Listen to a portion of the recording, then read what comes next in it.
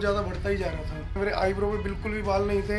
Hair treatment के लिए तो बहुत अच्छा है जी। पहले तो बाल थे ही नहीं, हमेशा टोपी डाल रहना पड़ता था। एक दो महीने के अंदर धीरे धीरे बाल आने लग गए। तो अभी भी ग्रोथ आगे चली रही है। तो बहुत अच्छा लगता है जी। दोस्तों, मेरे साथ है कमल गुप्ता जी। उनका छह महीने से बीएससी हेयर क्लिनिक में ट्रीटमेंट चल रहा है एलोपेशिया रियाटा का, जिसे हम आम भाषा में बालों का कीड़ा लगना या पैची हेयर लॉस कहते हैं। तो आइए उनसे जानते हैं उनका कैसा अनुभव रहा इस ट्रीटमेंट के दौरान।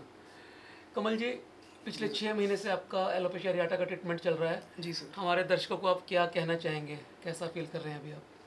छः महीने पहले जब मैं आया था इससे पहले मैंने इंग्लिश और होम्योपैथिक दोनों दवाइयाँ ली थी। जी। लेकिन और ज़्यादा बढ़ता ही जा रहा था। तो यहाँ पे आने के बाद बढ़ना रुक गया एक दो महीने के अंदर धीरे धीरे बाल आने लग गए। वरना मेरे आईब्रो पे बिल्कुल भी बाल नहीं थे और सिर पे बिल्कुल ख़त्म हो गए थे। जी। पहले व्हाइट बाल आए उसके बाद सारे ब्लैक हो गए। आईब्रो पे भी अब मोस्टली आ चुके हैं फिफ्टी सिक्सटी परसेंट तो अभी भी ग्रोथ आगे चली रही है। आप कैसा फील करते हैं? तो बहुत अच्छा लगता है जी। पहले तो बाल थे ही नहीं हमेशा टोपी रख के रहना पड़ता था। क्या संदेश देना चाहेंगे हमारे दर्शकों को?